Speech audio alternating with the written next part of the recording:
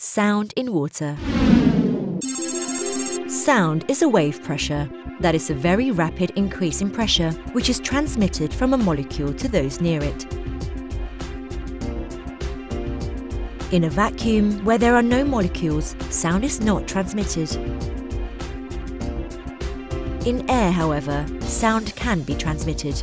However, each molecule must move closer to the others to raise the pressure, and as you already know, the molecules in gases are far apart.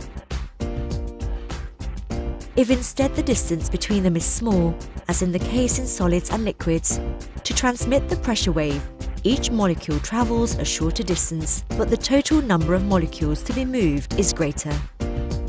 This means that in water, sound propagates faster than it does in the air, but in order to be audible, it must have greater power.